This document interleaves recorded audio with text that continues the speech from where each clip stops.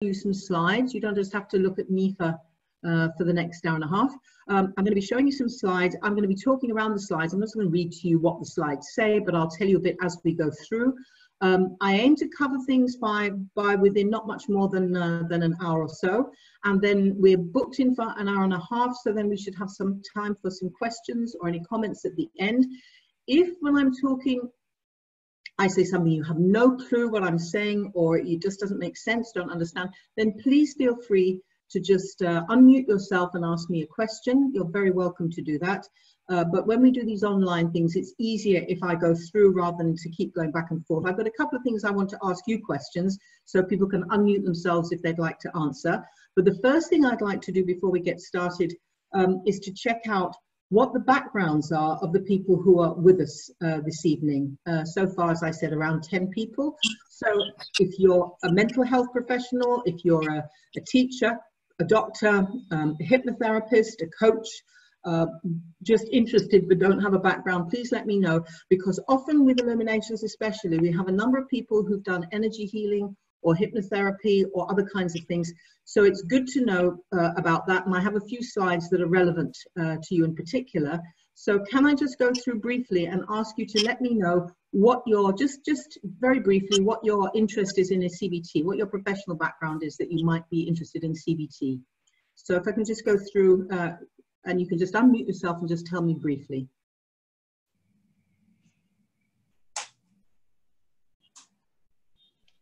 Hi, good evening.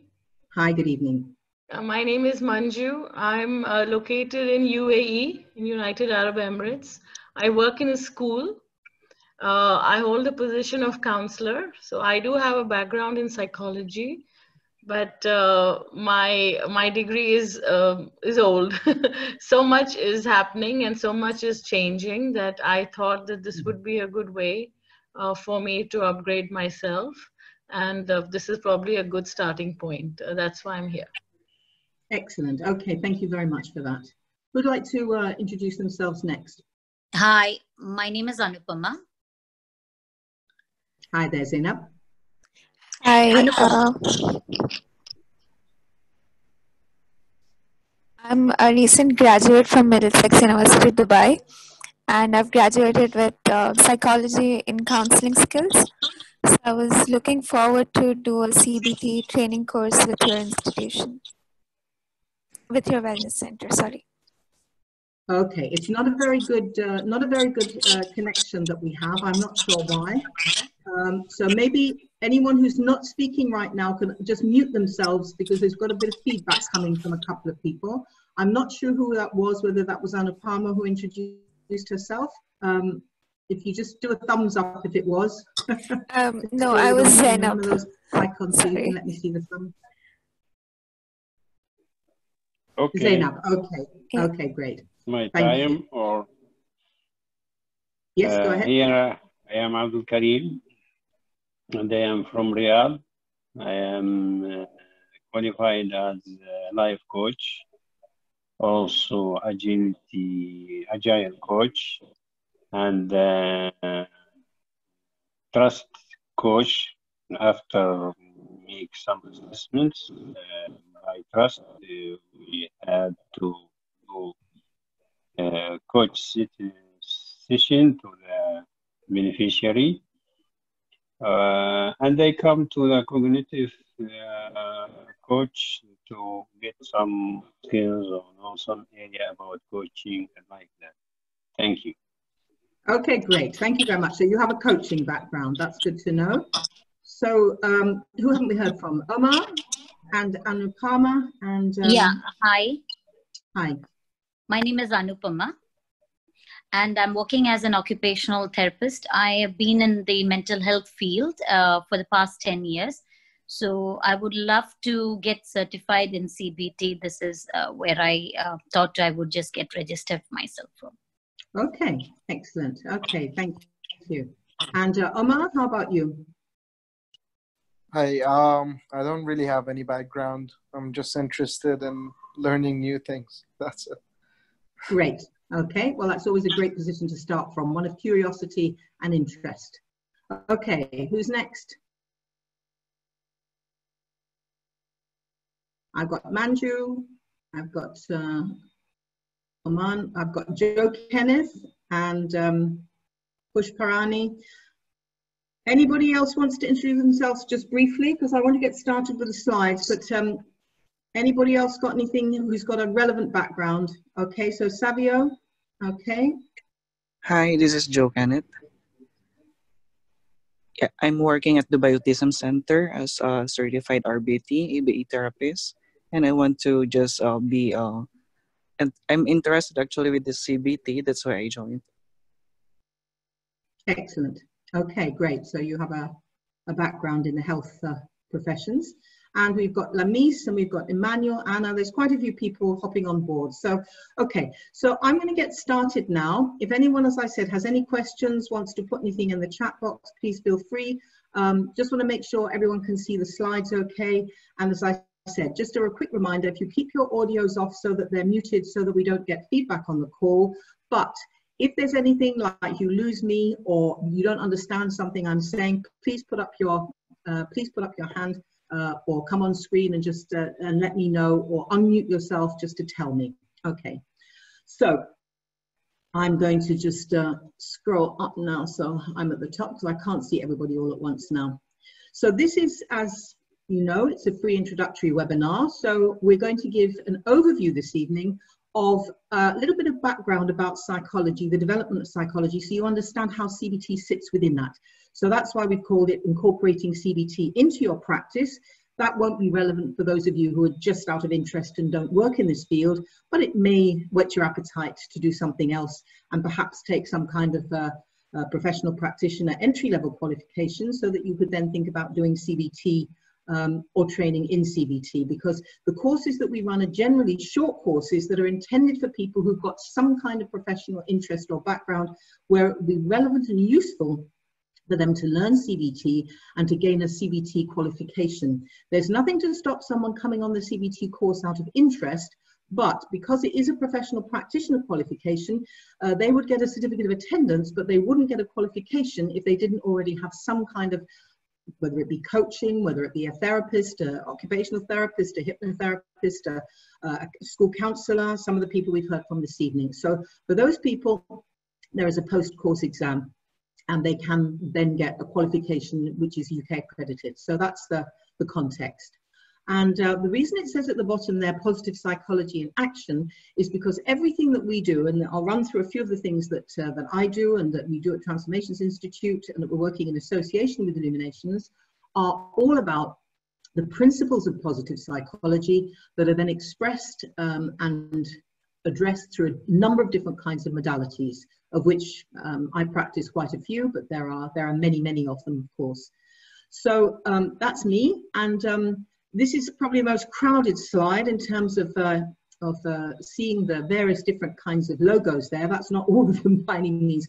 But this is just to let you know that everything that we do that leads to a professional qualification, be it a short, intensive professional development course like the CBT one that's going to be coming up later this month, and that we've been running with Illuminations over the last few months online, um, through to the longer trainings that we do um, in, in positive psychology, using clinical hypnotherapy, psychotherapy and counselling. Um, all of these are, have various different levels of accreditation in the UK. Um, there is their NLP, which some of you may know about, and we actually work directly with Richard Bandler, who's the guy who invented uh, NLP in the first place with John Grinder, and so we are um, we are trainers and coach trainers also for uh, for Richard Bandler. Um, there are many many NLP organizations around that we work with Richard directly. And all the others, apart from this one there, you might see the cursor over it, that's the Canadian Counselors and Psychotherapists Association. So some of the work we do um, is accredited from Canada, but mostly the rest of it is, uh, apart from NLP, which is America, all the rest of the, and uh, NACBT, the National Association of Cognitive Behavioral Therapists is American, but all the others that you're looking at there are actually British uh, associations that we're accredited with for various courses. So I want to just say to you in terms of, they talk nowadays about um, social proof, uh, because anyone can claim anything about themselves. Um, so I just wanted you to know that in fact, Transformations Institute although it's uh, been based in Dubai for some time, it was in Bahrain for some time before that. Um, It's an international um, body, and our institute actually is being regarded very highly by our peers. So this isn't just what I'm telling you. And what you can see is there is actually in London, outside the Ritz Hotel, which is quite a famous place in London, receiving one of two awards that we've won in the last couple of years. Uh, and those awards are for being the school of the year amongst the, the whole international community of schools that deliver the courses that we do. Uh, so that's based on the excellence, whoops, sorry,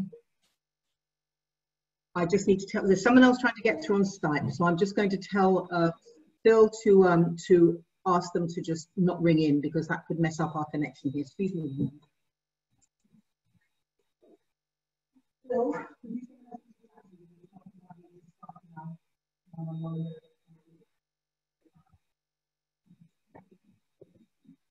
Sorry about that interruption. Okay, um, so yes, as I was saying, we've, we've won that award and that's, that's basically our peers. The people who run schools around the world doing what we do actually um, assessed us as being the top school for the quality and the quantity of the graduates that we've prepared. So we've actually been quite um, pioneers in this field in the Middle East. Now I want to ask you to reflect on um, what these people do. These are some of the main people who work in the field of what we would call um, mental health side of well-being. We've got psychiatrists, we've got a psychiatric or mental health nurse, we've got a whole range of different kinds of psychologists, uh, clinical, educational, health and organizational. Then we've got psychotherapists, hypnotherapists, counselor, and of course there are different kinds of counselors because some have an advisory role because the word originally counselor meant someone who was a wise person who gave good advice. And we've also got what we would call more uh, therapeutic counselors who work with people like school counselors as uh, one of our participants here, sometimes in universities or colleges, um, personal counselors, etc. Pastoral educators, that might be not a counselor in a school, but a teacher, but they have a pastoral role, in other words, to take care of the well-being of the um, Hopefully that will stop in a moment, sorry about that. Um, and we've got social and community workers and we've got coaches of which there are many nowadays. Now I'm going to ask you a question, see if anyone answers that. What's the difference between a psychiatrist at the top of the list there and all the other people that are there? What's the difference between them and all the others? Anyone want to, um, to give me their suggestion? Yes, psychiatrist has a medical degree so Absolutely. they're prescribe medication for certain conditions. That's right.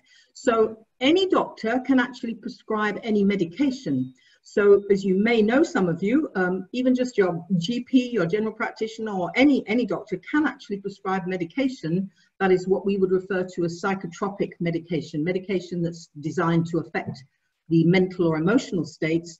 Only a doctor can do that. And of all that list, of course, yes, a a psychiatrist has to be a medical doctor. Many people don't realize that. They think a psychiatrist is sort of like a psychologist, a, uh, a therapist of some sort. No, they're not. They're a medical doctor who then has specialized in psychiatry, which is essentially not psychotherapy. It's essentially going by a book um, called the DSM, the Diagnostic Statistical Manual. It's got different names around the world, which is basically hundreds of different mental health conditions which are voted in by psychiatrists and clinical psychologists as being what we consider to be mental health disorders. And as you quite rightly said, they prescribe medication. And that's mostly what they do unless they are fortunate enough or uh, were determined enough to get training in therapy of some sort uh, so most psychiatrists are not trained as psychotherapists. So people don't understand, don't realize that. And mostly what they prescribe is actually told to them what they should prescribe by the pharmaceutical industry. So I'm not, you know, so the subject of a whole seminar if you want to get into it, but if anyone's interested or uh, thinks really, or let's prove that, I have, I have many years of research in this field. So I'd be very happy to send you links and so on but there is a big problem with psychiatry because it treats mental health and emotional health as if it was the same as physical diseases because they're medical doctors. And of course, it's not. And if you've heard of the theory of brain chemistry imbalance, or that's why we need medication for depression and all sorts of other things. There is absolutely no empirical evidence that this is the case. We change our brain chemistry all the time by what we think, by what we feel, by what we do, and any medication that you're given is not going to find an answer. uh, to that. It may give some temporary relief to some people, but for some people, unfortunately, it will actually make them worse. Um, if you look at the packet inserts that they put into the drugs that are prescribed for people with mental health uh, consulting because they're depressed, they're upset, they're anxious, they're, uh, they're neurotic about various things. If you look at the list of the potential side effects, as they call them, I just call them effects, um, that includes depression, anxiety, and even increased suicidal ideation. So if you take a medication like Prozac, for example, very, very popular for many years, I discovered when I was a dean at a university in the UK, and we had three student suicides in, uh, well, we had two suicides and one death, let's say, in three weeks. Every single one turned out to be linked to Prozac, um, two because of suicidal ideation and one because of enlarged heart. And actually, the research I did at that time showed that young men aged between 18 and 24 are 300 times more likely to commit suicide if they're prescribed what's called an SSRI, a selective serotonin reuptake inhibitor, than if they weren't given even counseling, anything at all. So this is why I'm, I'm very concerned that people know the difference between a medical approach is very different from a therapeutic approach and goes without saying probably that our concern is that people work therapeutically, but also they do need to know, and we do teach them on our CBT trainings, for example, uh, what the medical model says about these things so that people then know and can deal with medical professionals and uh, be aware of what the various different views are. So a mental health or psychiatric nurse can't prescribe medication, but they can actually give the medication that the doctor has prescribed. And um, a psychologist, again, many people get confused between those two. What's a psychologist? Anyone, anyone, I think one or two of you are already qualified that field. What's a psychologist? What entitles you to call yourself a psychologist? What do you need to have in the way of qualification or training? Someone like to volunteer?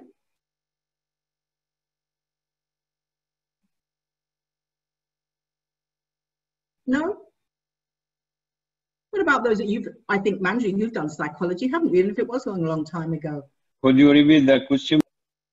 Yes, the question was, in order to be called a psychologist, what do you need to do? What training or qualification do you need to have?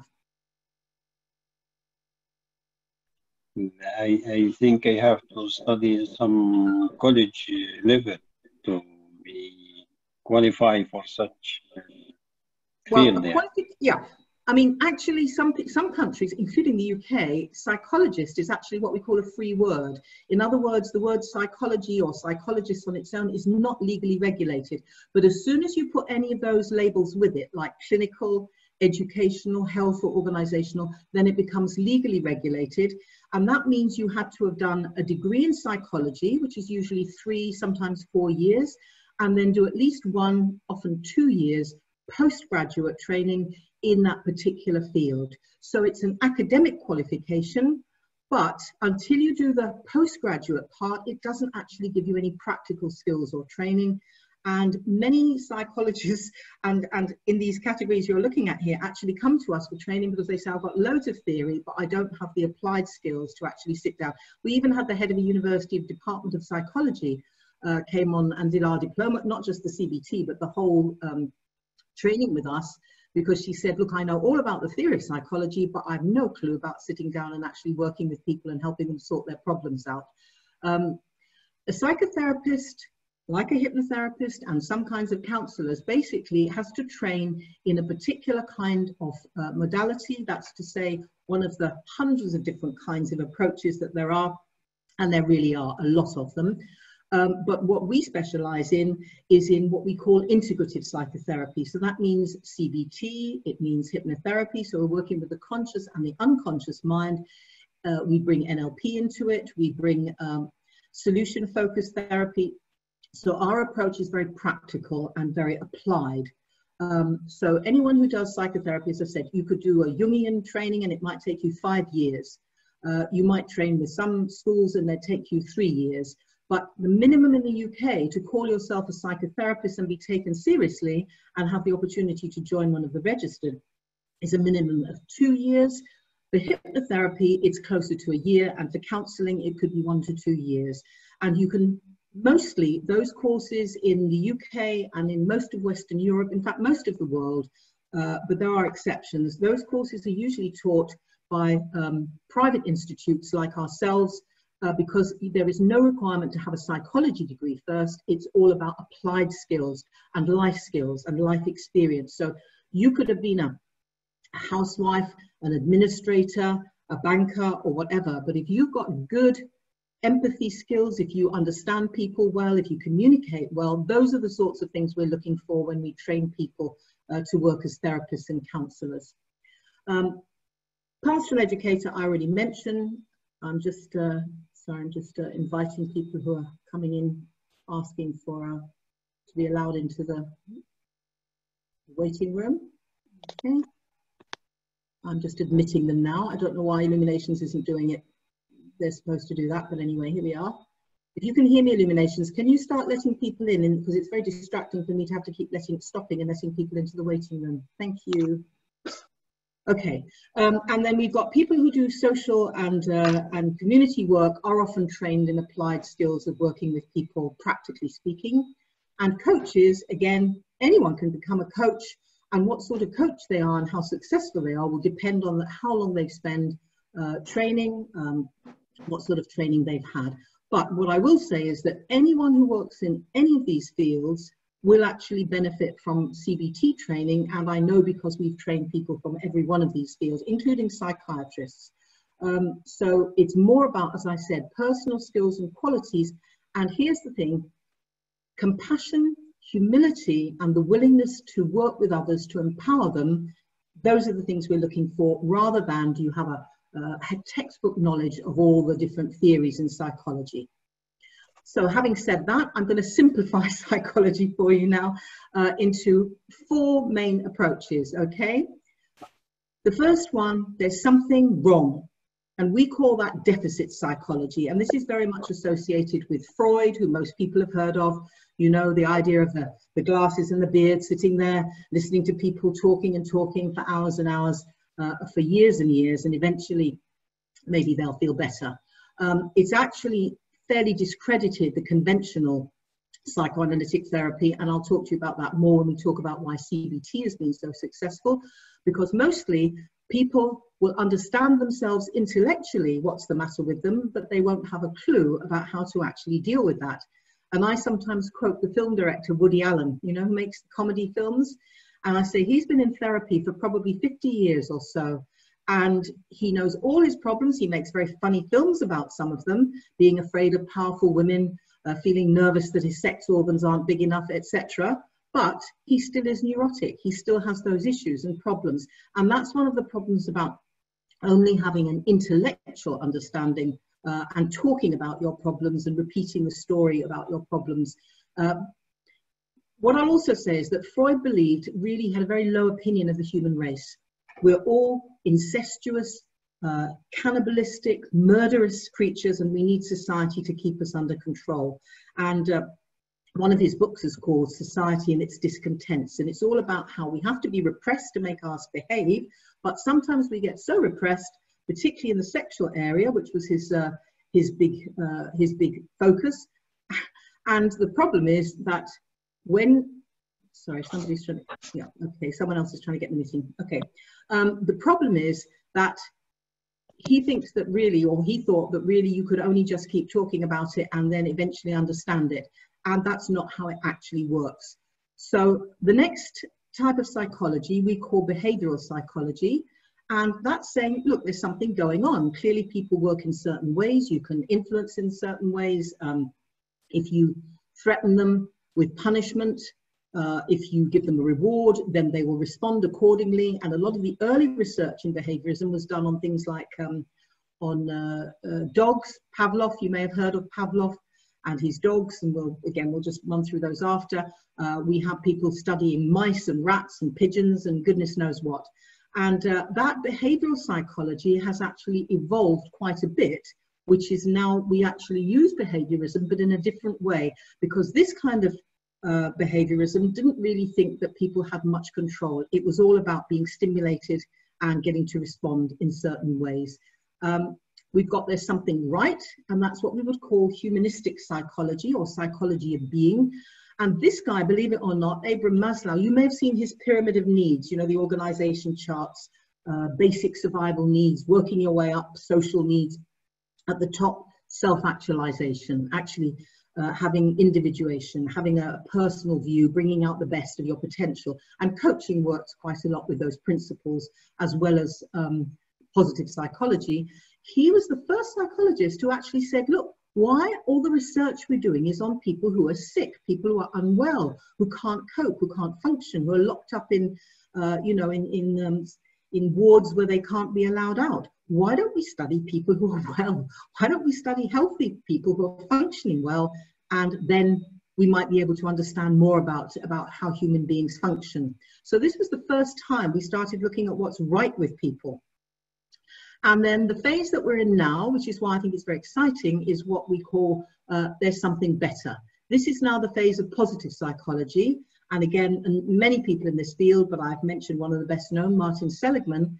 And the whole point with positive psychology is to say, look, we agree with all of this, there's something right, but there's also something better. Why don't we study the people who are the really the ones who are the best in their field, the ones who really broken through the barriers? What makes people happy? What makes people mentally resilient? And so that's why positive psychology can very comfortably work together with CBT. So I'm going to add somebody else I haven't mentioned because I said I don't I don't know if we have tonight. Nobody said so, but we often have some hypnotherapists in the um, in the groups. And uh, one of the things about uh, this guy here you're looking at is a psychiatrist, Milton Erickson. Uh, but the difference between sorry, did somebody ask me a question?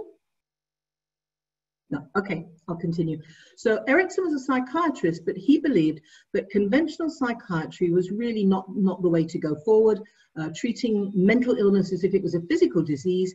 And he started working with what we nowadays call the subconscious or the unconscious level of the mind, because as he quite rightly said, that's the vast majority of how people function is they do things on autopilot automatically. So if we can talk to the subconscious mind, we can actually bring about changes.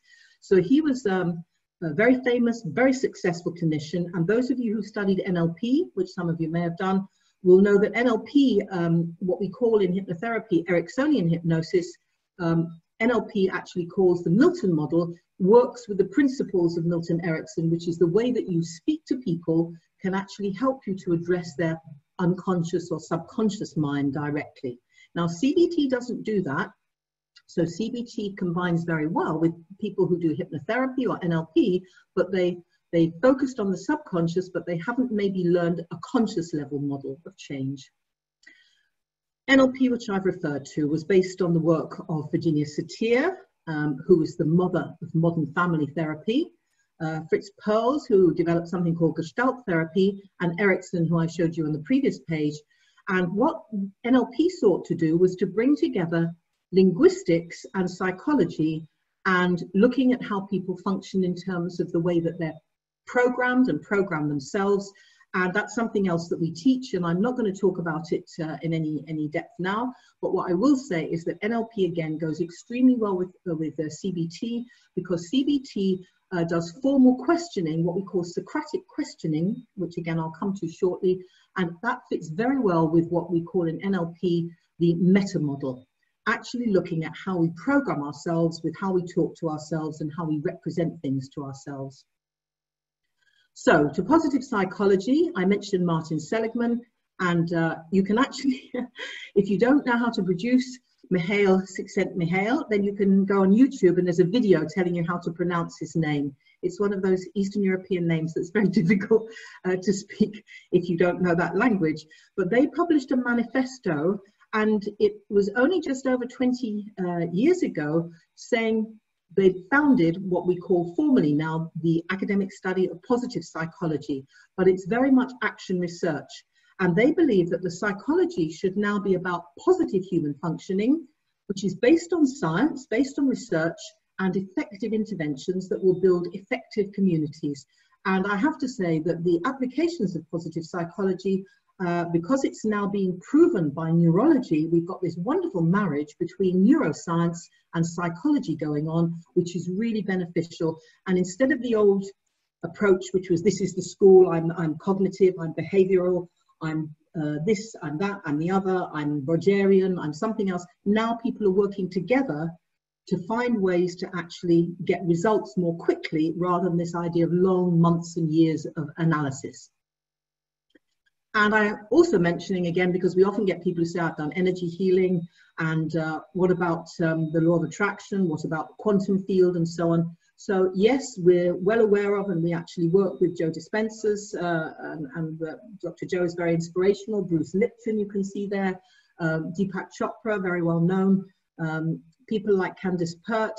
So there are many, many nowadays that take traditional systems of energy but are now combining them with modern psychology. And so we have things like EFT, emotional freedom techniques, Reiki, uh, theta healing, etc., etc. So to us, an integrative psychotherapist and counselor, it's useful for them to have a knowledge of those things. And again, they're not in any way in conflict, but they're not the same as CBT. So here are the roots of CBT it, it goes right back to Greco-Roman times, what we call the inductive or Socratic quote, uh, approach to reasoning. So that means if someone makes a general statement, I'm very unhappy, I'm not a happy person, then we want to start going to chunk down to specifically, what is it you're not happy about? What particularly makes you unhappy? When was the last time you were unhappy? Describe for me a specific time what unhappiness what you thought, what it felt like, etc. So we're looking at getting right down to the specific rather than dealing with generally, I'm depressed, okay? It also um, has a lot of influence from the Stoic philosophy, which fits in with what nowadays we refer to as mind, as um, the uh, philosophy, sorry, uh, the um, resilience, mental resilience, being stress hardy, being able to cope with stress, and also it's linked to some extent with the old traditional four humors theory of personality medicine. And this tradition of the old style traditional is reflected in the latest variation of CBT, which is called MCBT, which is mindfulness based cognitive therapy. And that's based on someone called Jon uh, Kabat Zinn. I don't know how many of you have heard of him, if any, uh, but he teaches mindfulness techniques based on Buddhist mindfulness uh, um, meditation techniques.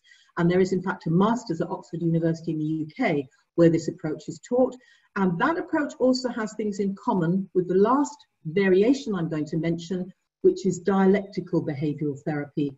And this came out of work done with uh, CBT, done with people with personal uh, borderline personality disorders who found it very, very difficult and scary to face rapid change because CBT is all about change and pretty rapid change, although you don't want to push the clients too fast. And DBT said we need to also um, understand the nature of the feelings and the people's fear of actually changing and focus on acceptance. So the dialectic in dialectical behavioral therapy is a balance between acceptance of how you are and who you are and wanting to change that. So if we go back to the days of the, the Buddha, the um, historical character, Gautama Buddha, um, he didn't leave any writings, but a lot of people wrote about him and wrote down things that he said. And one of the quotes is, what we are, sorry, we are what we think, all that we are arises with our thoughts, and with our thoughts we make the world. Now, if you think about that quote, um, later I'm going to show you how that's very much in line with many of the things that are being done now in mindfulness practice and in CBT. So I mentioned this uh, CBT origins on the behavioral side of psychology, but if you go from these early days of what I mentioned before, when we get to Wolper, I never know if it's Wolper or Volper, um, systematic desensitization. So in the 50s, he started looking at how instead of being like lab rats that were experimented on, could we actually get people to desensitize themselves to things that they were afraid of?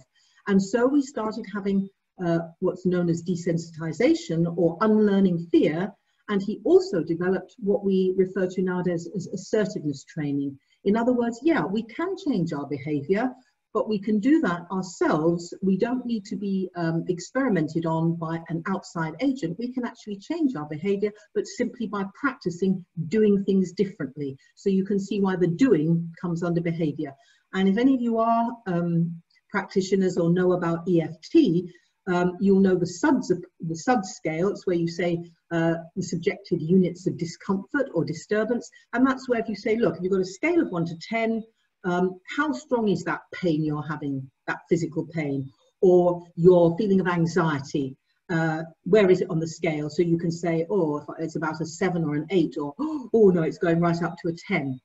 So he came up with this idea of getting people to assess for themselves what was the level of pain or anxiety that they were experiencing, um, both physical but also psychological pain. And there have been a whole bunch of people since then researching on this behavioral side of CBT. So now I'm going to just run through the two main figures because most people know about this guy. And we've actually, there's some great videos of Beck working on YouTube and so on. And if I tell you Beck was actually um, born in 1921, you can see he's actually 99 and he's still alive and still practicing and researching. Um, and he's still very much with it mentally.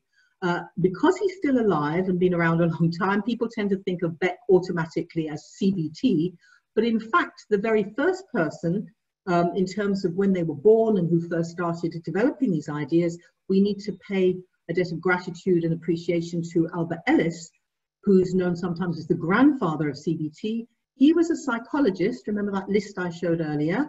So he was a psychologist, he was a radical humanist, and he worked um, with uh, sexologist Alfred Kinsey. He was very much interested in what really went on with people, not just the conventional front that they approached.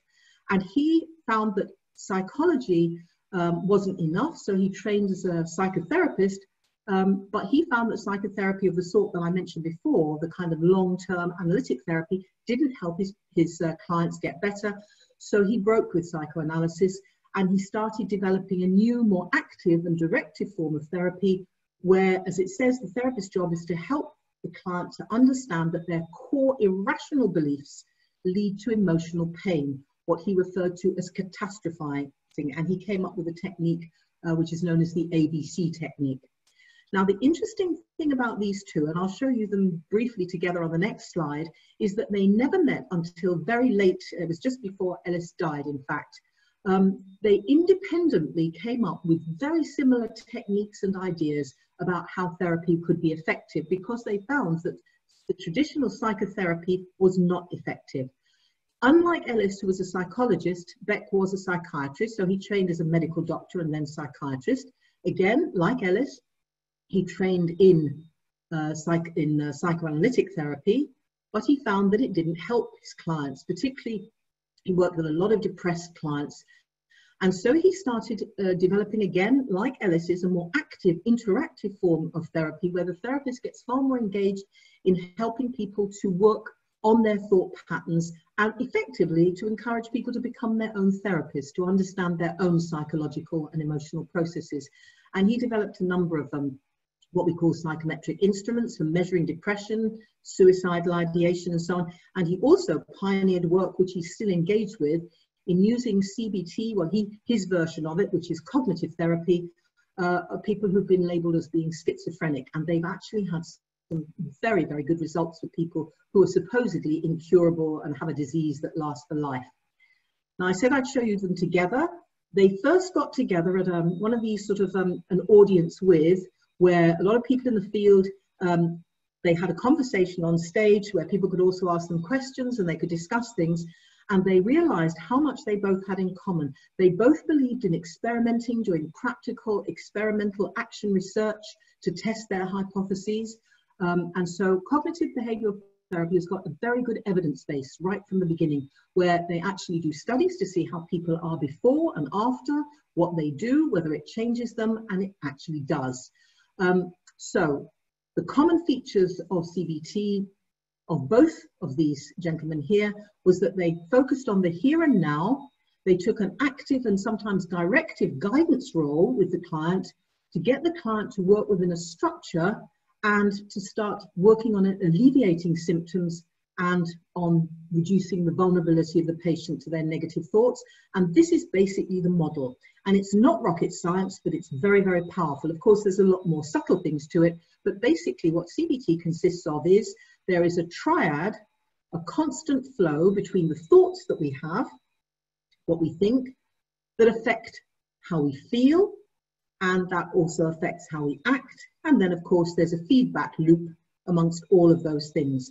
So essentially, if we break it down to its very simplest terms, CBT is about getting a client to actually start noticing and becoming aware of what thoughts they're having, what triggers those thoughts, the situations, um, what they're doing, etc., how that makes them feel, and then starting to understand and analyze their feelings and looking at their behavior and how much their behavior is affected by this, and then starting to experiment with doing things differently, changing a thought, focusing on a different emotion, doing something different to see if that makes a difference too. So it's very practical and the client is extremely active. So it's not one of those therapies where the client comes and says, hey, make me better, fix me please. It's actually one where the client goes out with a bunch of things that they need to do to apply. And of course, how much you get them to do and how quickly will depend on what state they're in when they come to you. Some people you need to go quite gently in the beginning because they've been stuck for a very long time. Other people are straight on with it in a few sessions, they're out the door completely changing their lives around. So everything that goes on in our mind, including in this cognitive behavioral model, our memories, our images, our thoughts and attention, the behavior is everything we do, so it's what we say and how we act, and also how we avoid taking action, how we solve problems, and then, of course, therapy is a systematic approach to combating a problem, illness, or any irregular condition. So, the central concept of CBT is we feel the way that we think and we act accordingly. Now, there's a lot of emphasis in CBT on motivation. So, if I give you an example of this, okay, think of the situation we're all in now. Most people have been in lockdown for months. Some people now have a relative amount more freedom to, to move around. Others are still very restricted. Uh, some people are required to wear masks, uh, whether they think that they're healthy or not for them, uh, but it's legally imposed on them. Something will happen to them. They will get fined. They will get in trouble if they don't. And so that is an extrinsic motivation, right? You get punished. So think of carrots and sticks. That's a stick. Now, if you think of that as an operant conditioning process, you're being conditioned to behave a certain way by what's going on in the outside. What might be the carrot? If the stick is you'll get arrested, you'll get fined, you'll get in prison if you don't do what the government tells you to do, what, what might be the social cognition aspect of that? Why might people comply with what they're told to do? Not because they're afraid of punishment, but because they feel some kind of reward. Anyone like to make a, um, a response to that?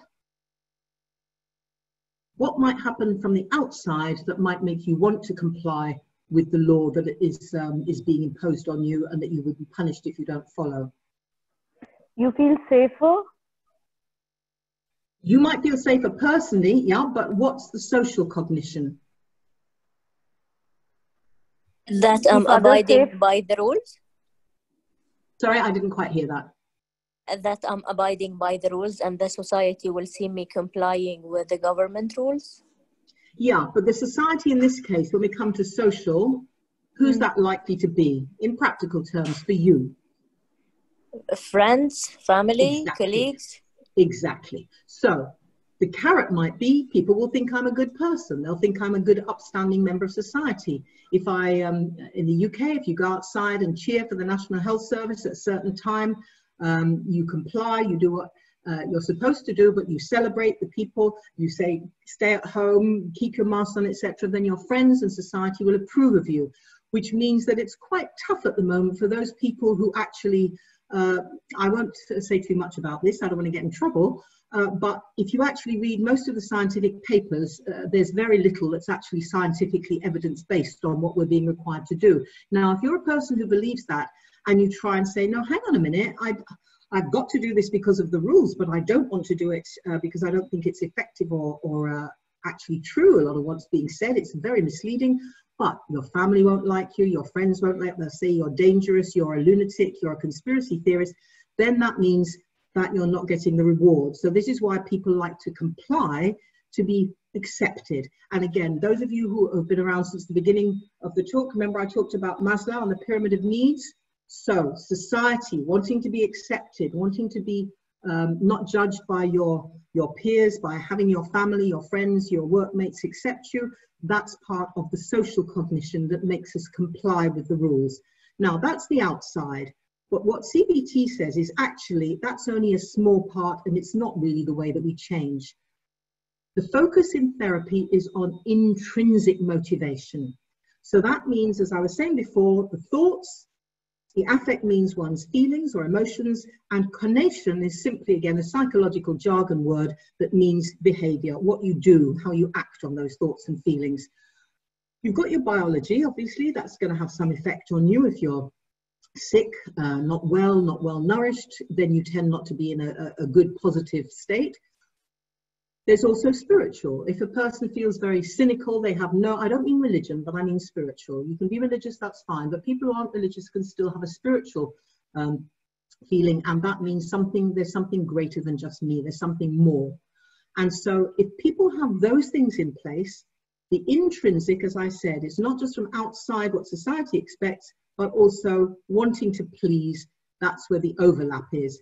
But generally in therapy, unless there's intrinsic motivation, unless someone has thoughts, feelings, and wants to do things that will make them change, then any change that's imposed from the outside won't work. And if I quote you, for example, you probably know that when the Soviet Union uh, got disbanded, when uh, the USSR uh, fell apart and it just became then um, Russia and each of the countries became independent, does anyone want to guess what one of the first things that got reinstated was that had been banned under the communist period uh, or era? What did people start doing?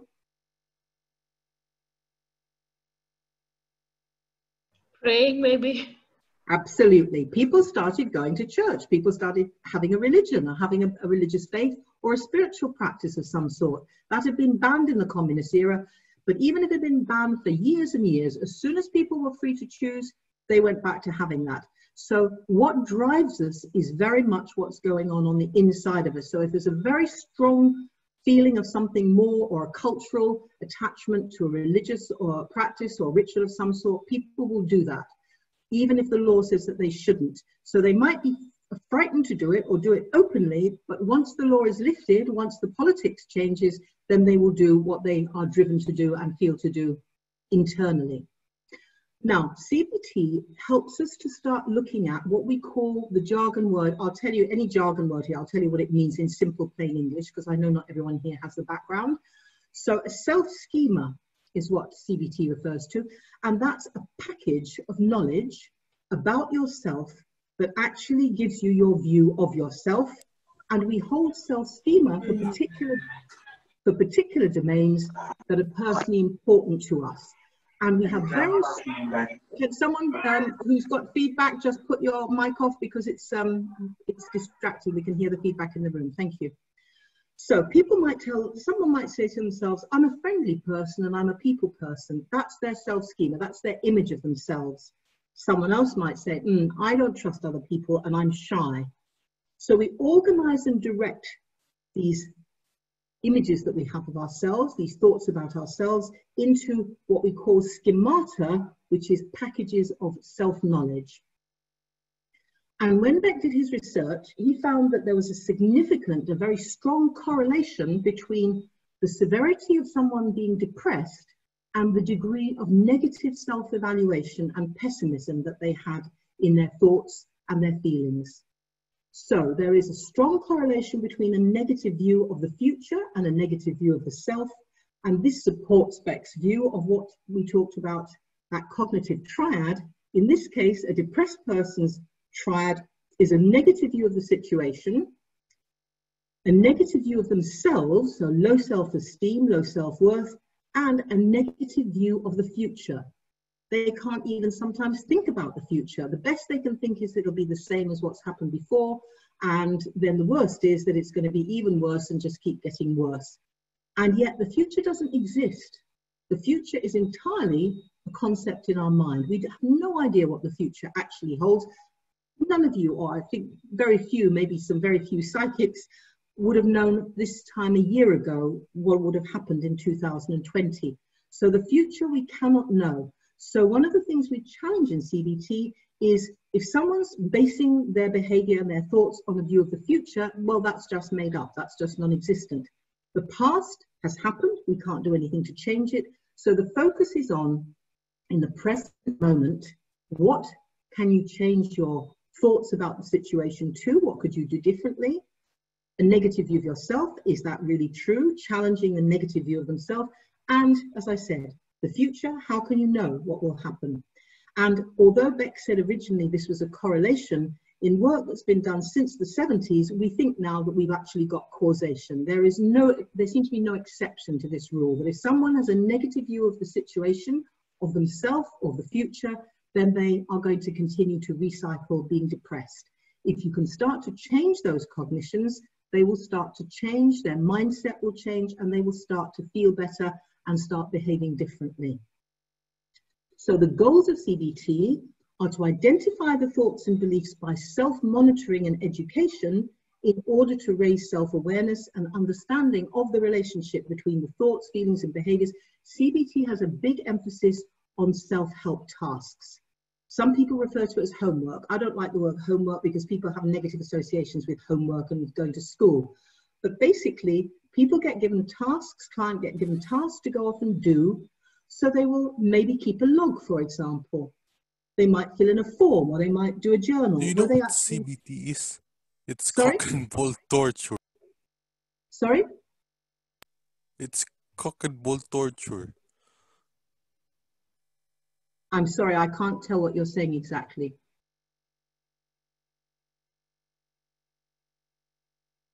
I'm sorry. If you want to write something in the chat room uh, and I'll have a look at it, but I, I don't, I can't quite hear what you're saying. I'm sorry. Okay, so if I can just continue there. So it's about getting people to start becoming aware of when that thought happened. What triggered that thought? Was it a certain situation? Was it a person that you were with? What was the feeling that you had?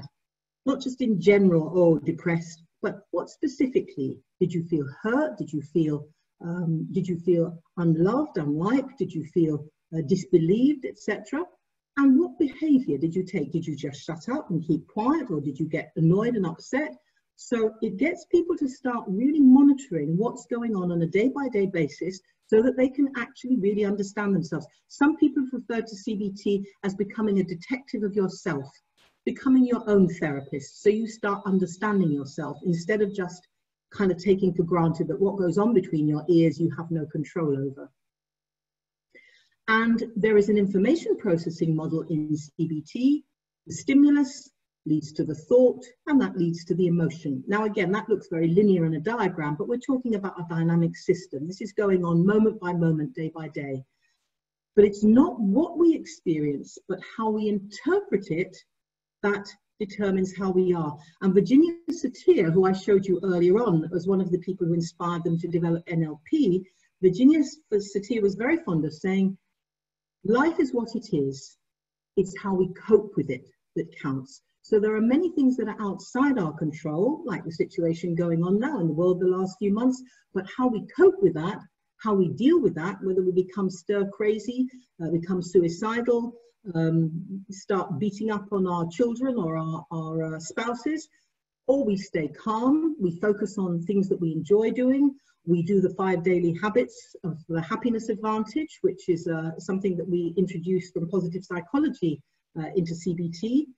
And so the thoughts mediate between the uh, stimuli, the external events going on, and the emotions. So any stimulus elicits a thought, and that might be an evaluative judgment of some kind, which then gives rise to the emotion. So it's not the stimulus which elicits the emotion, but our evaluation of that. Now I'm going to give you a practical example in case that sounds a bit technical. If you walk into a room and out of the corner of your eye, your peripheral vision, which picks things up before you consciously realize it, your eyes, your peripheral vision become aware that there's a coil of something in the corner.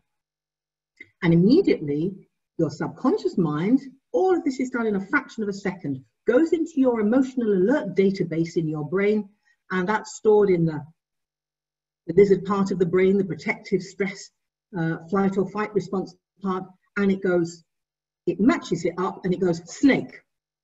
And so then you have a thought snake and you're flooded with an emotion of probably fear. Unless you're someone from a society or culture which isn't bothered by snakes, in which case you might go and turn around to go and chop its head off or something. But most people would feel a rush of adrenaline and, and get afraid if they thought there was a snake there. But then you look and you see, actually, that wasn't a snake at all. It was a coil of rope. And that coil of rope just under the corner of your eye looked like a snake. Now, immediately, you know it's not a snake, but if your emotional database has activated the stress response and you become flooded with adrenaline, even though consciously you know it's not a snake, your emotions will tend to start going into what we call a refractory period. You'll still be on the edge of getting anxious or nervous. So if somebody practices being like that on a day by day basis and things make them feel very nervous, even if they're not really a threat, they start to automatically develop behaviors that will trigger this. So we need to get to the bottom of what are the triggers. Does I hope that makes sense to you. If anyone uh, doesn't make sense to, please ask. Okay. So again, there's going to be time for questions and answers at the end. So um, I'll just continue. Um, CBT changes on focusing negative thoughts. It doesn't say every negative thought is bad. It may be that something is a risk to you, but it does a risk assessment. Clients are encouraged to notice and record their emotional states and triggers and to do things like, as I said, fill in forms or a journal to start noticing was that really rational? Was that a logical thought or was it just based on a fear where I've got no evidence for it at all? And so when we come to changing basic cognitions, if we've got cognitions, that's to say thoughts and this thought, feeling, action cycle, which is making us unhappy, then we need to challenge that and do something about it, or we just stay stuck in the same old, same old conditioning. So here's a thought, I'll never have a good job. Now, immediately, that's mind reading, isn't it? That's future prediction. That's being a, um, you know, gazing into a crystal ball. How do you know if you'll never have a good job or not? But if you keep telling yourself that you'll never have a good job, then that leads you to feel hopeless. And when you feel hopeless, that has an effect on your physiology, on your posture, on how you communicate with others. And guess what? You don't get that job. You might not even bother to put the CV or the application in. And when you go to the interview, you've already decided you're not going to get it. So you're going to come across as very, very uh, low energy and not at all charismatic and not someone other people would want to employ. We have another one here. Nobody likes me. That's part of their schemata. Remember their package of self-knowledge. So if you feel people don't like you, nobody likes you in fact, or nobody loves you, then that leads to a feeling of being lonely and rejected. When you feel lonely and rejected, what happens? You try to avoid social situations. You don't talk to people that you don't know you put yourself down. You don't even bother to dress up and go out or join social events. So then you're in again one of those cycles, one of those self fulfilling prophecy loops. On the other hand, you're facing a problem, but you tell yourself, I have solved problems before, then that leads to a state of hopefulness. In other words, a positive feeling. And uh, I often think of it like um, it's about conditioning yourself to be like one of those Weeble dolls. You know, you push them over and they bounce back up again. So that's what we're doing with CBT is helping people to become more resilient and to actually test out their thoughts. If their thoughts are based on fact and logic and reason, fine, keep that thought.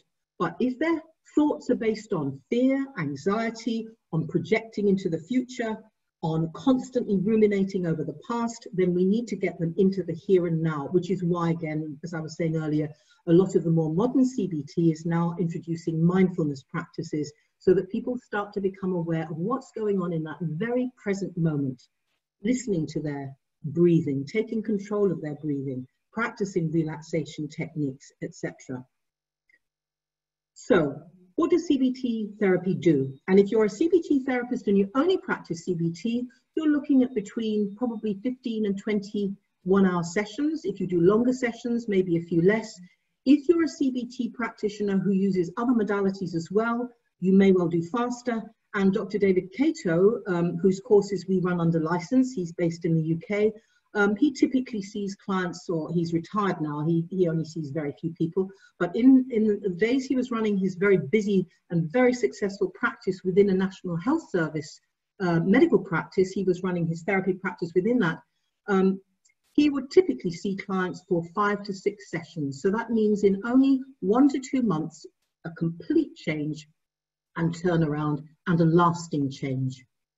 So using a series of behavioral techniques in the first phase of CBT, we're doing things to actually induce the relaxation response, which some people call hypnosis or self-hypnosis, daily activity schedules so that you change the things you do, because some of you may know already that one of the definitions of madness is that you do the same thing you've always done and expect to get different results.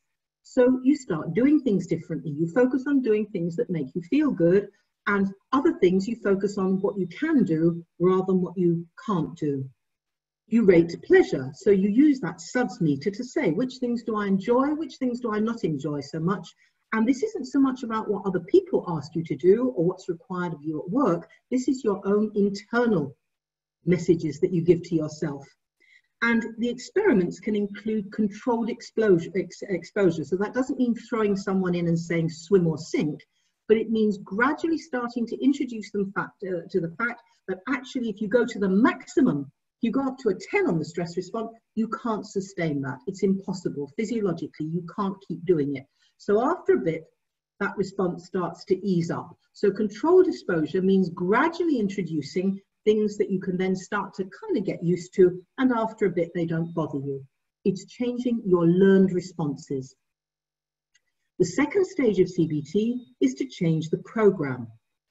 Identifying and challenging these negative automatic thoughts that you've just handed over to your subconscious mind and it just does it for you, so you not need to start intervening and thinking differently. Analyze the errors in the logic, particularly that people who are depressed or very anxious tend to make, and you use what I referred to before as this Socratic or inductive questioning, the guided discovery, to challenge and rewrite these thoughts in a more balanced way. So not it's not affirmations like I'm perfect all of the time, but you know, things like, okay, every time I go out and socialize, I find it easier to mix with people. So you gradually start to change your way of relating. So it usually takes about five sessions minimum. Remember, this is only using CBT. It can be faster if you um, if you use it with other modalities combined, which I'll talk about after. So about five sessions minimum to learn to identify and challenge these negative automatic thoughts and the things that trigger them. And then the final stage, also the client starts questioning, as I've mentioned, what was going through my mind just before I started to feel this way. And the therapist and the client together draw up a list of the key presenting problems and thinking errors. And then the client starts reality testing those thinking errors as hypotheses rather than saying they're facts. Is it really true? Is this really proven? If I'm scared of flying, okay, how safe is it really? How many accidents are there? And if you have a client who has fear of flying, and I've had a lot of those, and particularly in Bahrain, it was uh, interesting because it was an island and it was the only way to, to travel off Bahrain. Uh, mostly, what would happen is that they would realize that actually flying is one of the safest ways to travel that there is. And so the fact that they'd seen a, a crash or there'd been some disaster, statistically they had more chance of actually falling over and breaking their leg when they were putting their trousers on or off a ladder or um, if you're in Dubai, uh, having an accident in the Sheikh Zayed Road. alternative ways of thinking then start to be substituted for the original automatic thoughts that are more balanced and reflect the client's experience more accurately. And in the final stage, we can then work with the deeper core beliefs and the unconscious mind. And this is where if you have got someone who uh, practices hypnotherapy as well, that can make that much faster because hypnotherapy can actually very quickly get the subconscious mind to bring forward material uh, that's buried from the past and clear that up uh, very quickly.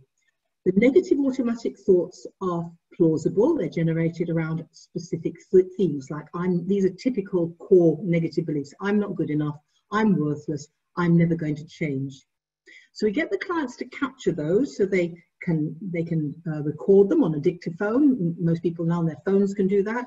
But something I prefer to encourage people to do is to write them down because when you write something down, you actually use a different part of your brain than you do to run fear, emotion, negative thoughts. So actually, when you start to write something down, you immediately start engaging your more logical, rational brain. Now, I wanted to say something about CBT and research. I mentioned this earlier. So, CBT in the, the treatment of depression has statistically proven to change brain chemistry without medication. And in the UK and in most parts of the world, I'm from the UK originally, although I've been in the Middle East many, many years. Uh, but within the National Health Service and the private sector, it's the go to therapy that most uh, doctors and uh, referring practitioners will be comfortable with referring to because it is very, very uh, empirically based. Beck and his followers naturally, obviously, endorse his approach, the cognitive therapy approach, which has been demonstrated over, in, on over 400 clinical trials to be effective, uh, including more extreme conditions such as personality disorders, so called, um, and in randomized controlled trials, peer reviewed research, it's been found that it is effective both with uh, bipolar and uh, borderline personality, schizophrenia, etc., sometimes in combination with medication and sometimes not. And I've given a reference there if anyone's interested in looking at more of the research. Um, for the hypnotherapists out there, if there are any, uh, I'll give you a, an example from combining them together shortly. Some examples. In Toronto, they did a study of cognitive therapy as opposed to pharmacotherapy, that's medication, and utilized pre and post treatment brain scans. In other words, they scanned the brain before and after. And what they found was there was a change in the brain functioning with both the CBT and the medicine. But the difference was that in CBT, the changes were top down, and with the drugs, the changes were bottom up. In other words, antidepressants actually work on the primitive lizard brain, on the, on the reptilian brain, on the the part of the brain with the amygdala that produces the fear response and the anger responses. So the antidepressants affect that part of the brain and they dampen the activity in the limbic system. But conversely, CBT calms activity in the cortex, up here, the frontal lobes, the seat of reason. So for that reason, and that is why the brain changes long term with the CBT and the CT because you're actually changing it with conscious thoughts that you're having. So pharmacotherapy doesn't change the brain permanently, whereas the cognitive therapy does, and so there's much less likelihood of relapse if someone has gone through a process of CBT. So Beck says, I don't want to overstep the data, but it does seem that cognitive therapy does seem to be a cure sometimes. It is a lasting, whereas if you take people off the medication, they haven't actually changed their mindset, their way of doing things, thinking about things. You haven't actually addressed the symptoms. You've just put a band aid over them for a while. And as I said earlier, sometimes you've made them worse by doing that.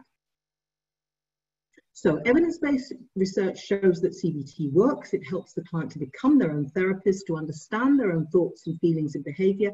And one of the great things about it, because it's flexible, is that you can incorporate CBT with other modalities. I said I'd mention hypnotherapy because uh, usually when we do something with illuminations, there are people there who studied hypnotherapy. Uh, some are in training, some have already uh, are trained. So I just want to briefly talk about um, the similarities and any differences. They're both structured and focused and relatively short. CBT on its own, as I mentioned, could be 15 to 20 sessions. Hypnotherapy will between one and eight and, and 15 sessions, usually between about three and eight, depending on how severe the condition is, what number of problems that somebody's got, etc. But generally, it's, it is definitely a problem um, solving and solution focused therapy, as is CBT. CBT uses specific assessment and diagnostic instruments to focus on measurement. Hypnotherapy doesn't tend to do that. Um, again, some hypnotherapists might. Most hypnotherapists will use some kind of initial questionnaire, um, find out things, use questioning, uh, have what they call a pre-talk, and that will vary depending on how they've been trained. Both identify the core negative beliefs using conscious processes in CBT case using inductive questioning. In hypnotherapy, it's done by addressing the subconscious mind directly. So you can see those two are complementary. They're different, but they are complementary. CBT uses reframing using conscious awareness to assess those core realities and negative, sorry, those core negative thoughts against the actual reality. Hypnotherapy tends to do it using what we call parts therapy. But ideally in hypnotherapy, you're seeking to get um, a unity, a partnership going between the conscious and the subconscious mind to focus on one idea, one new change at a time. Also, CBT focuses on specific negative thoughts and seeks to challenge those and replace them with positive thoughts, and hypnotherapy does exactly the same thing. CBT sets a series of structured goals for change. Hypnotherapy sets goals for change, and depending on the therapist and how they've been trained, they may be structured. Some are more loose and some are more structured. CBT requires the client to do work and actions between the sessions, uh, what I've referred to as homework or self-help tasks and this reinforces new behavior over time and controlled exposure. Now, in psychology, we say it takes about 21 repetitions to build a self simple habit. So if you do these things over a matter of a couple of month or two, you're going to find that those changes will happen, behavior modification will occur. Some hypnotherapists do set homework tasks and use reinforcement audios and suggestions. Some don't, some rely on just having a um, session with the client. I think more and more hypnotherapists nowadays are actually uh, giving work and, and, actions for the client to do between sessions. Certainly we train people to do that. One uses suds and shifts measures. Hypnotherapy may do, but it doesn't have to. The big difference here, CBT does not focus on the past. It doesn't conduct regression or focus on the past or trauma in the past. It focuses on the here and now and the future Whereas hypnotherapy does conduct, conduct um, regression and analytic work, including parts therapy, to clear any repressed or uh, material or trauma that hasn't come into the conscious mind. So again, that's a difference, but it's also where the two together can work extremely well together. So just to complete on that one, both are active, directive. Hypnosis can be, it's sometimes not so much so. They're both time limited and, and both have some degree of structure, a lot of structure in CBT. Both are problem solving and solution focused approaches. And the research that's been conducted to date, we could do with a lot more, but there has been quite a bit already. And you can see I've quoted from one there um, from the um, evidence-based mental health. When adding hypnosis to cognitive behavioral therapy, there has been an improvement in a number of acute stress disorders. I've also seen research on things like um, um, stress-related alopecia, when someone's hair starts falling out, they lose hair because of stress. A whole bunch of uh, different research has been done and they found that hypnotherapy on its own or CBT on their own got good results, but when they combined the two, they actually got the best results of all. So the addition of hypnosis substantially enhances treatment outcomes in CBT, so I encourage people to conduct further research.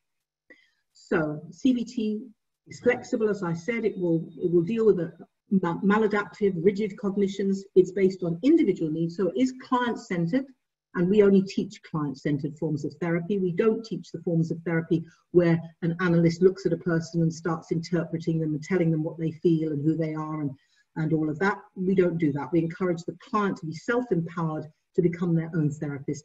And these are just some of the things, uh, I'm not going to read them all out, but what I will say is um, that one of the things we'll be looking at in, for those of you who are wanting professional development, we are running a, a two-day uh, freestanding module on sex, sexuality and sexual difficulties, uh, which includes a number of things, including CBT. And then at the bottom two, eating disorders, OCD and many other issues. We actually have a follow-up course for those who want to get an extra diploma, not just the diploma in CBT and with the psychology of depression and grieving and loss, but also a diploma in eating disorders and OCD, which is based on CBT, but also incorporates some other techniques, including some hypnotherapy techniques. So the last slide from me, um, so I'm well within my time here, which is great. It's going to be held in the last two weekends of August. Um, this is through Illuminations, as I mentioned, and I believe, that, I don't know how many people, they've got a few people registered already, but if there are still places in that first six participants to register will get a 10% discount. Now this course is not intended for complete beginners.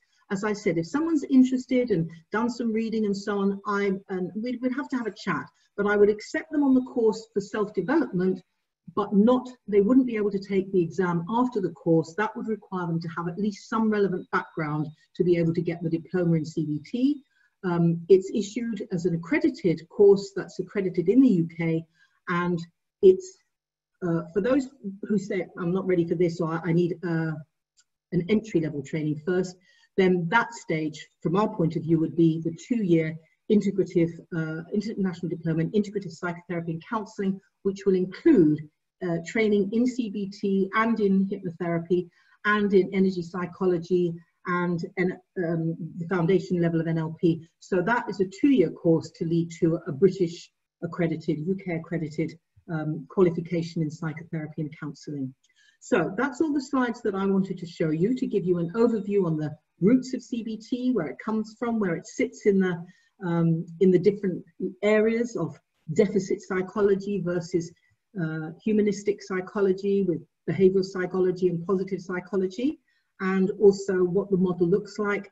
In the actual training, the two intensive days, as you can see, from 10 till 6 each day for two weekends, in that we cover in detail the theory and the practical work. We go through case studies and prepare people so that they can take the exam. And I can tell you, personally, I can tell you I was a bit nervous about what the results would be by doing this all online because previously we've done face to face or some online and, and the rest face to face but we've had to do everything online since, um, since the end of March. And I can tell you that every single person who submitted for the exam has passed the exam and a number of them with extremely good results and have now got their diplomas, um, all in the diploma in CBT and uh, about probably about half or more, maybe two thirds, have also done the OCD and eating disorders um, course, which is a two day one, and they've got their exams and their extra diploma from that. So anybody got any questions, want to ask about anything that I've mentioned or anything I haven't mentioned, uh, anything you would like to know, it's over to you. Please ask, please go ahead.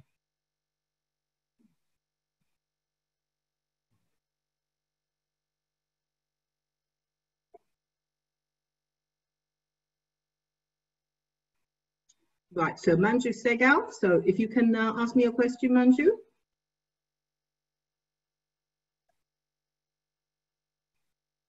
You will need to unmute yourself, Manju, to um. You'll need to unmute yourself, Manju, if you want to ask me the question. Okay, go ahead, please. Yeah, hi. Sorry, I wasn't able to unmute earlier. I, I'm just curious. We spoke about motivation earlier.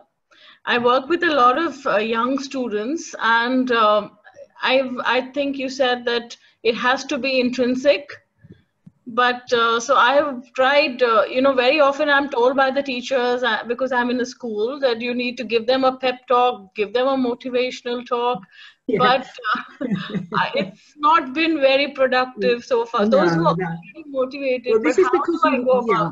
I totally understand. And I worked in, I mean, I've zigzagged between therapy and education. I've been an educator for many years. I've taught in, in school, not for a long, long time, but in colleges, universities. I've been a university dean. So you don't, you know, total, totally empathize with you on that one. Yeah. The thing is, the skill in it is finding out what it is that a young person wants to get out of it.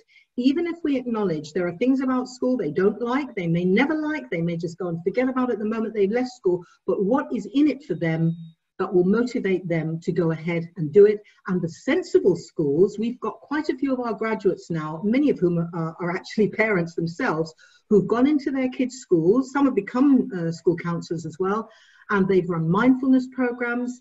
Um, the lady who's the head of psychology at Repton School is one of our graduates, uh, psychology head of department, and they've been running mindfulness courses, well-being uh, courses, and so on.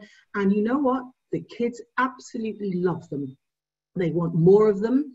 A number of their IB students said this should be in the school curriculum right from the get-go, not just send them for a pep talk to the school counsellor, but how yeah. do we actually get students to reflect on critical thinking skills, to have emotional intelligence? How will this benefit them in life in general? Because just doing a blah, blah, blah, blah is one in one ear and out the other. We all know this, right? We need to be motivated by something that turns us on. So the use of things like This is why I said I'm, I'm an eclectic integrative therapist. I'm a CBT practitioner. I'm very skilled with CBT and I train people in it, yes, but I use NLP, I use visualization techniques. When I teach CBT, people get, um, they don't get the whole thing, obviously, but they'll get enough of that that they can use because visualizing what you do want, visualizing a new blueprint for how you want to be. How do you aim at something if you don't know what that thing is that you're aiming at? So you can get all that you need to do this to do better, but who for? For your parents? For the school teachers? For the school itself? No. People want to be motivated by something that there's in it for them. So what's in it for me? Yeah? So, you know, you can talk to kids, especially teens, in terms of, okay, how much energy is it going into arguing with mum and dad? How might you have a better relationship? How could the emotional bank account be built up with mum and dad or with your teacher so that actually instead of reacting um, you use behavioral techniques like from assertiveness to say, okay, use a fogging technique. That's to say, agree with everything you hear that's true in what's said to you, but just ignore the other stuff. So, um, you know, mum says, tidy up your room. Okay, if I knew why it was important to you for me to tidy up my room, if it was really important to functioning or hygiene, then maybe I'd be able to do it. Can you please give me a reason rather than, oh, leave me alone. So the same thing goes in school, you know? And the more that kids get turned off, you probably know, maths is one of Yeah. the subjects that's constantly, we're being told, is taught badly. Why? Because it assumes that everyone thinks the same.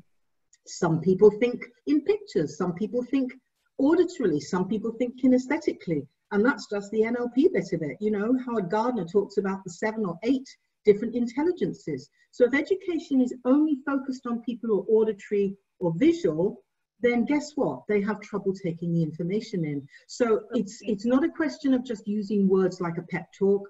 It's getting motivation. And the other thing I would say, although this is about CBT, I would say that the people who are best at CBT have a lot of NLP skills as well. Because if you use language to say something like, and imagine as if you were in a situation where, could you imagine that there was someone in this situation where they had this uh, experience and what would you say to them? What would you say to them if it was them? If you were to tell a story to that person, what story might you tell? See, it's all permissive language. You might, it could be, it would be somebody else. You're not saying do this, do that. Because as soon as you do that, about a third of the population are going to rebel, aren't they? The nomadic, independent, I like to do my own thing, the warrior types that uh, don't tell me what to do. That's two thirds of the population left. But you've only got about a third of the easygoing settler types who are going to comply Yeah. and you know go along with it. And they'll be going along with it because they don't want you disapproving of them, but secretly they'll be doing completely different things. They'll just be lying to you and getting good at lying. And you know, uh, we also, I'm trained with uh, Dr. Paul Ekman, who's the godfather of um, emotional intelligence, and his books on lying and truth and lies are considered to be very sexy, you know, the lie to me programs and inside out emotional intelligence. But you know, he did a study on um, why kids lie. And he did a study on these schools in the same African country, and they were near each other with the same conditions, same cultures, and everything. And then he looked at the school's values. And in one school, lying and telling lies was not a very big deal. It was more important that you did well, were, had a good sense of community, etc., etc. The other school, the main focus was on being truthful and honest, and you never told lies. And in the research they did, you know what they found? Who were the really good liars? Can you guess? The one which emphasized on uh, truthfulness. Yes, exactly. When they didn't want to tell the truth and then it was a high value, they got to be really good at lying. They got to be really good at giving the indication through verbal and, uh, and body language cues so that people believe them. So you actually teach people to be good liars by punishing them and being really heavy about telling lies. If you're easygoing and, well, as long as it's not about anything life threatening or crucial, it's not a big deal. Tell a story if you want to. I'm more concerned that you're kind, uh, that you're compassionate, that you uh, are happy, that you're true to yourself. Those are most important to me. Then the kids don't feel the need to lie. So it's really interesting. And, and those of you who are educators or um, parents in the, um, in the group this evening, um, do have a look also at uh, Professor Carol Dweck. Uh, she's a researcher who's done some great work. Hers is, if you've heard of the growth mindset or fixed and growth mindset, that's come from her research. And she found again, when kids are given feedback that's vague and general, even positive feedback like you're so smart, uh, you're so clever, etc., it actually puts them under stress because they fear they're not going to do so well in, in the tests or whatever the next time. If you say that's that's good, and if you'd actually done this, that could have improved it even more. Yeah, I like the way you colored that in this bit there. So you give them good, you give them positive feedback, but you give them critical, constructive criticism as well. They like it, they love it, they, they thrive, they want to do better, they want to do more. So she's a, a very good one to look on that. And she's also done a very nice YouTube video. I think it might be a TED talk called How I Cured Myself of Perfectionism. And this is a psychology ah. very distinguished psychology professor saying, you know, perfectionism actually is really destructive to the human psyche. It stops people being creative. It stops them trying things out, experimenting because they might get it wrong and fail and then they'll be in trouble. and if I ran a school, if I ran a school, and I, I have someone whose mother-in-law owns a school, she's gone back to Pakistan where they have a school there, and she's working as the school counselor. They wanted her to run the school. She said, no, I'd rather be the counselor. I said to her, if I run a school, one of the precepts in that school would be the NLP presupposition there is no such thing as failure, only feedback. Because if you have been, if you behaved when you were learning to talk and to walk, and by the way, those are the two most difficult things we ever have to learn to do. We've done them by the time we're about three or four, right? We're walking yeah. by the time we're one to two, and we're talking by the time we're about three to four. And, and so we mastered incredibly difficult things at that stage, everything else is really easy. But imagine a baby gets up and it's gradually practicing and eventually it gets the confidence, takes that first step and then falls over. If it behaved the way that we treat kids in school and this failure thing, they would just go, that's it, I'm never going to walk. I just can't do it and I'm just going to stay here. But they keep getting up and they keep practicing and they fall and they get up again. That's called feedback. You learn by doing and by not getting the result you want, and then you try again and do it differently. We should cultivate the experimental attitude in kids and say, that's interesting feedback. What did you learn from that? Not you failed and write red lines all over their work. So I think, unfortunately, I think primary education is often better but then as soon as they get into secondary education suddenly they we want to turn them into robots. And how many of the skills do you actually use that you learn in school out in real real life world you know? Look at all these entrepreneurs who never graduated college or in some cases didn't even get any exams because they were dyslexic or whatever. So i'm not knocking the idea of having good education but what i'm saying is a lot of education is not education it's programming and so i think uh, and that's a long answer to your question but i think you just start Thank getting you. skillful at how you respond to your your uh, your masters at the school and they tell you pep yeah. talk them and get the kids enjoying being with you and, and doing mindfulness practices or whatever it is they do have fun because fun having fun humor turns on the learning centers in the brain so we remember things if someone tells us a risky joke there's something to do with sex or something naughty or something we shouldn't do it we remember it immediately someone who goes blah blah blah blah blah that's why I translated any of the jargon words for you in my in my talk because jargon just switches people off. So I hope yeah. that helps, Manju. Yeah, very much. Thank you. okay. I have another question. Go ahead. Uh, in in hypnotherapy, anyone else wants to butt in, have, have, have your go, and then if anyone else wants to come in, they can jump yeah, in. Go ahead. I just wonder, is it dangerous when you talk about hypnotherapy? I mean, you know, dwelling into your past and those thoughts and all, is it harmful? Yeah, if, if things are in, if it's, I think of this like, okay, if you had a, um, you had a storage cupboard, a pantry, and you had things in there that are going off, that have gone off somewhat, what do you do? You go in, you clean out, you take out the moldy stuff, the stuff that's gone rotten, and you chuck it out and clean it up, and then you can use it. If you leave it and pretend it's not there, um, you hold your nose when you go past, you look away, eventually you've got mold or you start getting cockroaches or it's there anyway. So there's no danger in just clearing up the past.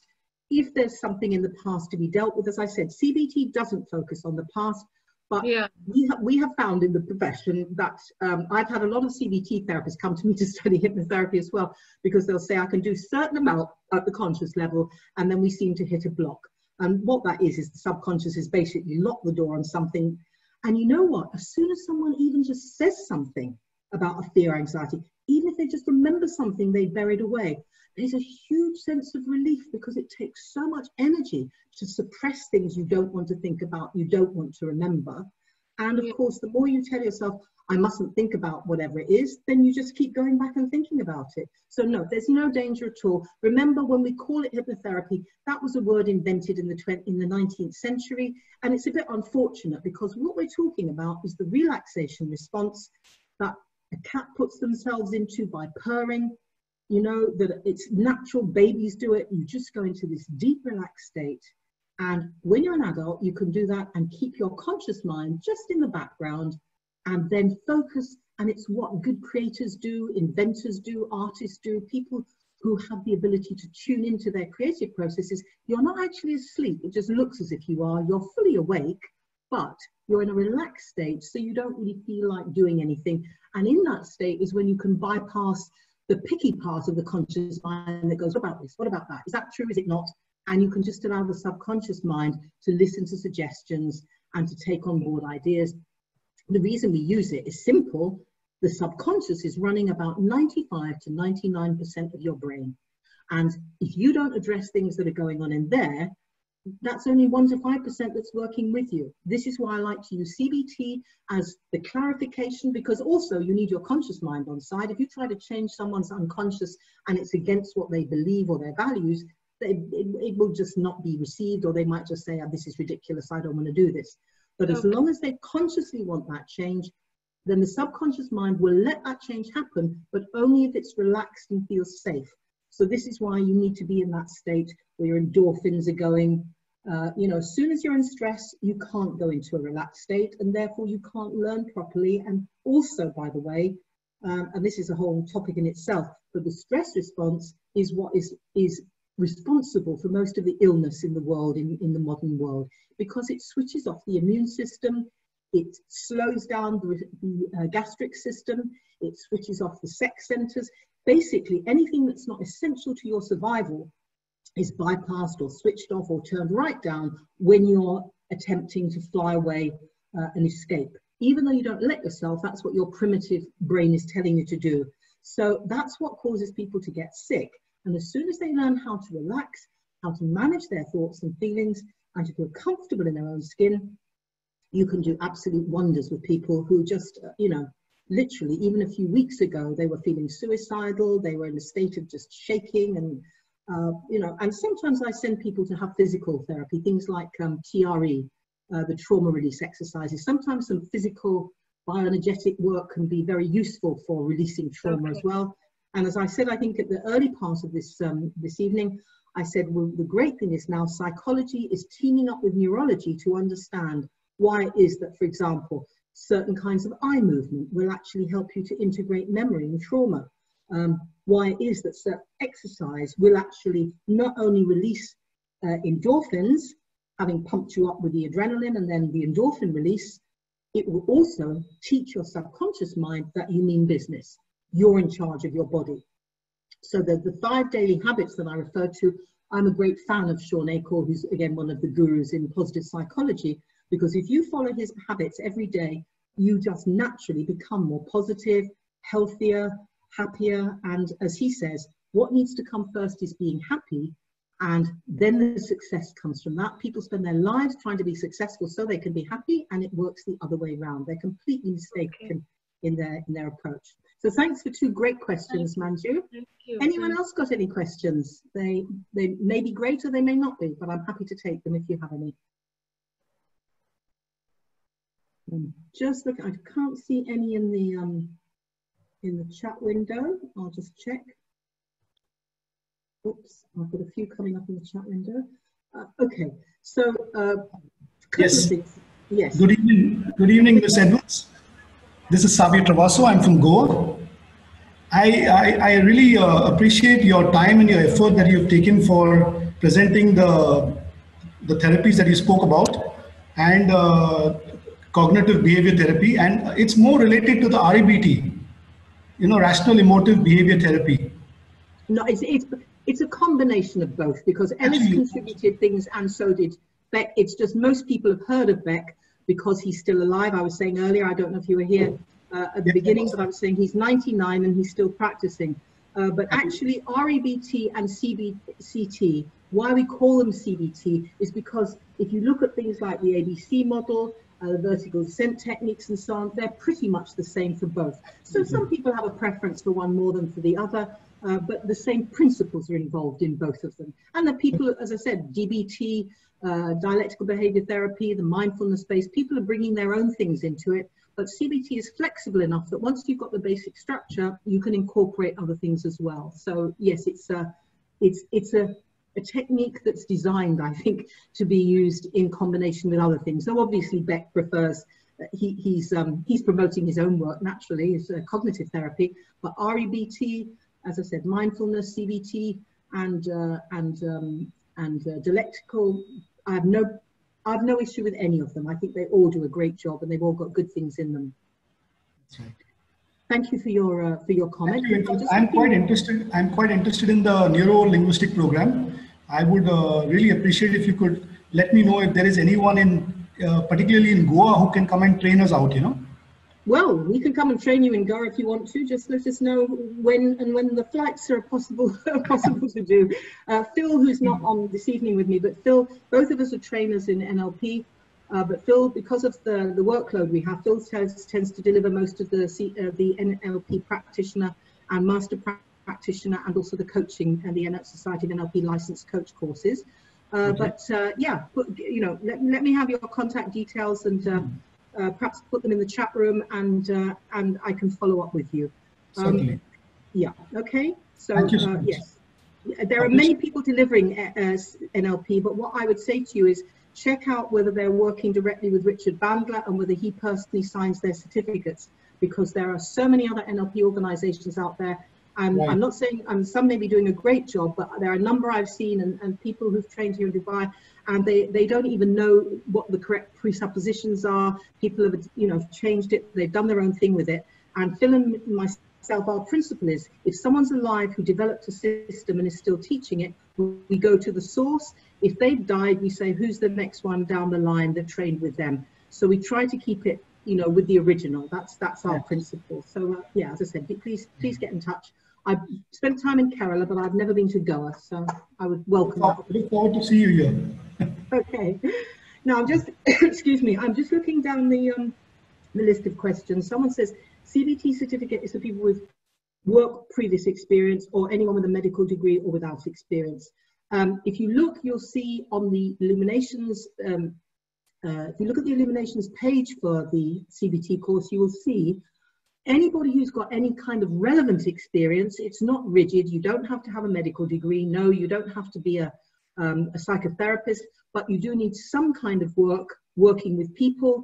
And if you're in any doubt, then please ask um, Illuminations to put you in touch with me and you can arrange a Zoom chat with me uh, and I can have just a quick chat of sort of 15 minutes so I can just find out from you what your experience is and then I'll tell you if it's suitable for you or not. Okay? Um, so um, for newbie training, NLP training, no.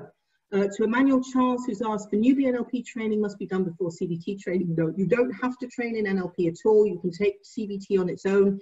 If you are an NLPer, then you can go on and take CBT. If you're a CBTer, you can go on and take NLP. So the two are complementary, but they are not mutually required. Okay?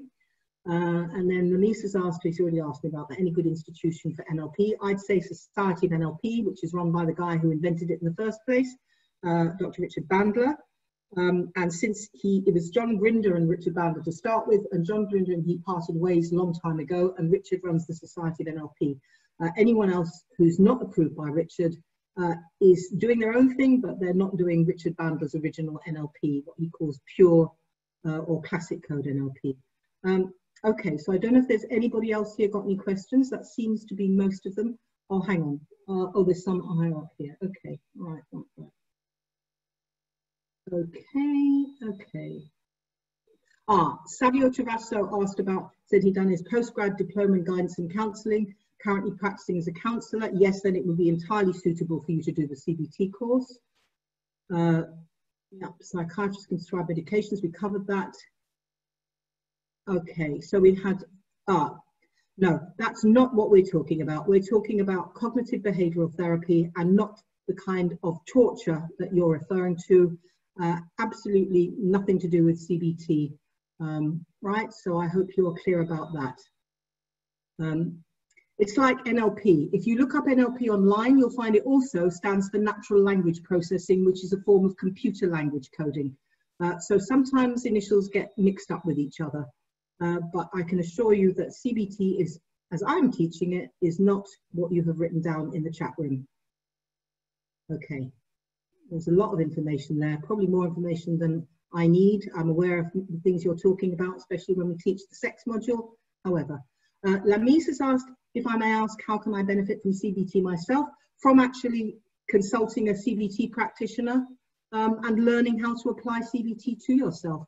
If you can't afford to see a practitioner, there is a very good book called CBT for Dummies.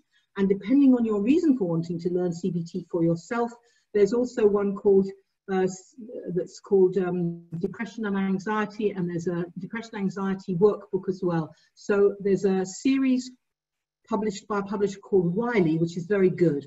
Obviously, most people prefer to see an individual because that is a lot easier than working with a book, but you can get some good books on CBT.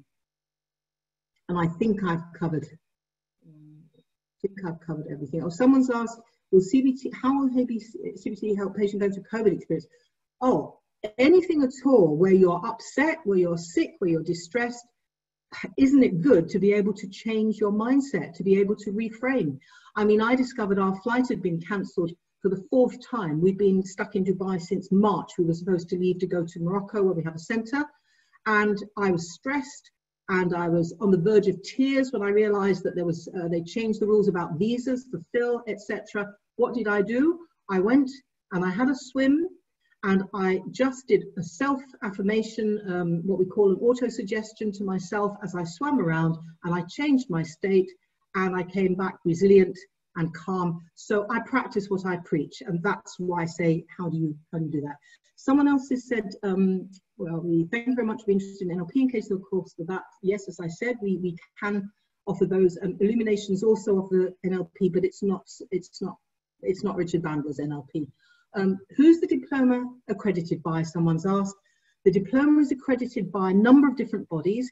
Um, the ACHE, the Association for Continued Hypnotherapy Education, is where it originally started with David Cato, who's one of one of the leading what we call CBT, uh, hypno CBT. Sometimes it's called cognitive behavioural hypnotherapy. And David ran a very successful uh, practice and the Bristol Depression Clinic within the NHS.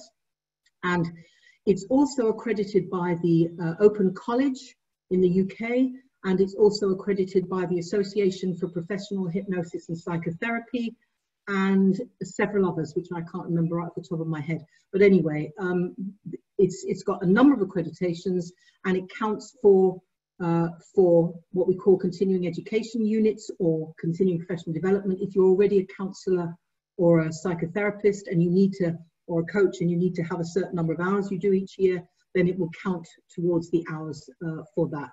So um, that's the answer to that question. If you have any more questions specifically about it, uh, then uh, if it's Ethan or Ethan, but please uh, ask Illuminations to put you in touch with me because we've got a little while until the course starts so I can answer questions with people if they contact me uh, beforehand to um, to let them know uh, more about the course if they need to know. But if again, if you look on the Illuminations website, you'll see there's quite a detailed list of the curriculum of what we cover on the course.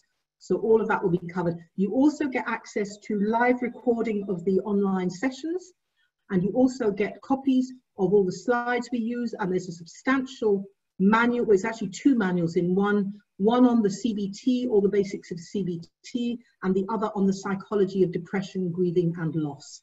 Um, so that's it's a it's a you know it's a dual accreditation in CBT with the psychology of depression, grieving, and loss. And as I said, there is an extra diploma, but that is a separate course, a two-day course. I think I've answered all the questions now, and uh, I think we're a little bit over our time now. Um, so unless there's anything pressing, um, I'm going to say good night to you all and say thank you very much for attending, and thank uh, you. thank thank you for your questions, and I hope you found it useful and do you know keep in touch we'll be doing more webinars from time to time and uh, hopefully other courses in the future too so bye bye for now keep safe keep well and keep happy okay Thank you. Thank you. See you. Namaste. Namaste.